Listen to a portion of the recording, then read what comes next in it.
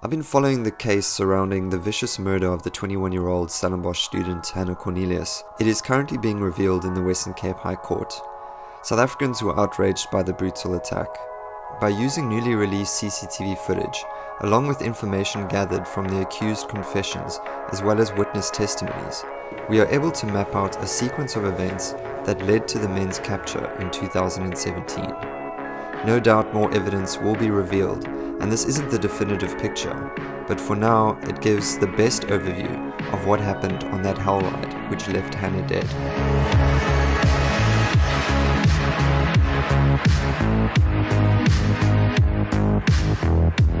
We begin at 23 minutes past 3 on Saturday morning. CCTV footage from a nearby shop shows Hannah Cornelius' blue and white City Golf pulling into this grass patch to drop off her fellow student, Cheslin Marsh. They are both tired after a long night filled with dancing and dominoes. A few minutes later, while Hannah and Cheslin are talking in her car, four men who police say are the suspects in this case Vernon Witbooi, Geraldo Parsons, Eben van Niekerk, and Nashville Julius appear on the scene.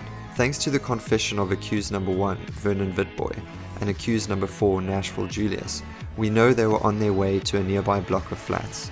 But when they spot the blue and white City Golf with two passengers inside, their plans change. The men attack the two helpless students in their car, allegedly using a screwdriver and a flick knife. The state says that shortly after the robbery, one of the attackers, accused number 4 Nashville Julius, leaves the scene but the three remaining men shove Hannah Cornelius in between the two front seats, and her friend Cheslin Marsh is forced onto the back seat. The car drives off at 40 minutes past 3, and the hell ride officially begins. The next time we see the vehicle is almost one hour later, at 34 minutes past 4, on CCTV footage captured at a petrol station here at Devon's Place outside Stellenbosch. Marsh had been shoved into the boot at this point, meaning Hannah was sitting in the front passenger seat wearing a cream colored jacket. This crude, grainy footage might very well be the last time we would see Hannah alive on camera. Accused number one, Vernon Witbooi, exits the vehicle at the shop. Take note of his pants as this will change later in the day. Witbooi attempts to draw money from Marsh's account. The transaction, however, is unsuccessful, as Marsh had given them the wrong PIN for his bank cards. This angered the men, and Marsh would be punished for this action later. They continue driving and head to this area along Bottelary Road, but we lose them for an hour or so somewhere here in Kraaifontein. According to accused number one's testimony, Hannah is quietly complying with the men's demands.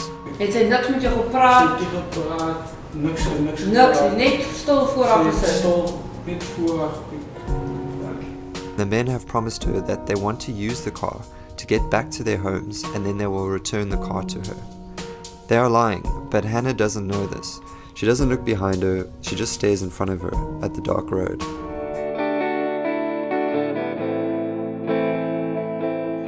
According to police records, their next stop was here in Kraaifontein. No doubt a terrifying place to stop, with armed men during the cover of darkness. Marsh testified that it was still dark at this point, as the boot was opened and he was forced to get out. He remembers a very scared Hannah asking what the men were planning to do. He is berated for giving them the incorrect pin, and he is then ordered to lay down on the ground and to place his head on a brick. Marsh said in his testimony that the last thing he saw was two men holding bricks in their hands. He closed his eyes and he prayed, but he lost consciousness soon thereafter.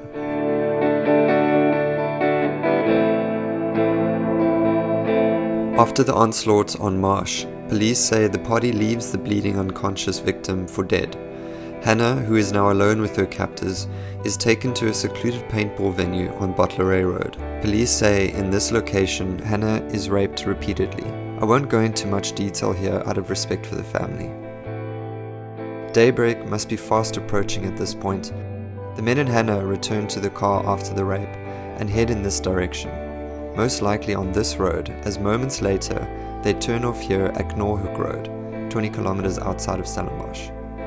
One more turn off onto a small farm road next to a stream and alongside a vineyard. They come to a halt. This is the last place Hannah would see, for here she is stabbed in the neck and a large rock is dropped on her head. She succumbs to her injuries and is left lifeless in the field.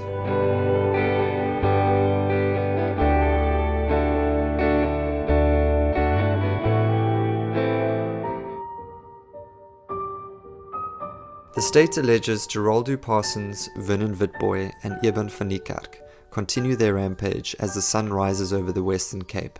Police believe that at this time the men head back to Kraaifontein and chase down a woman in this street as she is walking to work. She trips and falls, they steal her bag and rob her of her cell phone. Over the next five hours, there is yet no evidence as to where the men went and what they did but we catch up with them again at 1 o'clock in the afternoon here in Kuils River when they rob and kidnap another woman on this street. CCTV footage shows the blue and white City Golf arrive at 12 past 1 at this shell in Brackenfell. Vernon Witbooi is now seen wearing different coloured pants than at 4 am, meaning he must have changed somewhere along the route. He again heads to an ATM in the store to draw money from the kidnapped woman's account. Here we see accused number 2 Geraldo Parsons clearly for the first time. Witbooi alleges in his confession that Parsons is the main instigator in this case. Parsons approaches Witbooi at the ATM and they draw 3000 rand in total from the woman's account. Witbooi says the terrified woman is still on the back seat with Eben van Niekerk at this point. A short while later, the kidnapped woman is dropped off on Bottelary Road, a short distance from where Hannah was raped. According to Witbooi, they now drop off their accomplice Eben van Niekerk, somewhere near Stellenbosch. Van Niekerk receives a thousand rand for the help with the crimes. What began as six people in Hannah's vehicle after the kidnapping has now been reduced to only two men, Geraldo Parsons and Vernon Witbooi. The accused are thought to be heading to Delft and decide to go through Stellenbosch to get there, but the vehicle is spotted by an undercover police vehicle here. Detective Constable Bulalani Siko follows the car. A few moments later, a police van joins the fray and switches on their blue lights. The Blue City Golf speeds away and a high speed car chase begins along this route. This CCTV footage captures the men pulling into the Dwars in the Weg farm as their last attempt to escape. Detective Siko chases them down on foot. A farm gate and a security guard stand in the way of the men who are still driving, attempting to escape. With nowhere else to go, the car stops on the grass, and Geraldo Parsons and Vernon Witbooi make a run for it.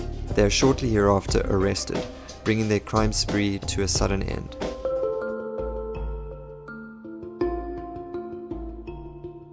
Has been 11 hours since Hannah and Cheslin were attacked by four men.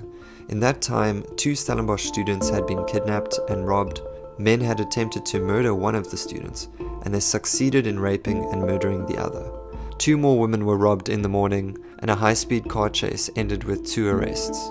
Although two of the four men charged in this case have confessed to certain crimes, all four suspects in this case have pled not guilty in the Western Cape High Court. Accused number 4, Nashville Julius, who left earlier in the night, is charged with robbery and kidnapping, while the remaining three men are charged with murder, rape, attempted murder, kidnapping, and robbery. Cheslin Marsh is left deaf in one ear after this attack, and he had dropped out of university due to the trauma of that morning. A year after Hannah Cornelius's murder, her mother drowned while swimming in Cape Town. It was ruled an accident. She is survived by her father and her brother. Hannah Cornelius' family have helped set up a new foundation in her honor. You can support the initiative here. Thank you for watching, and I'll be bringing you more information as it is revealed in High Court.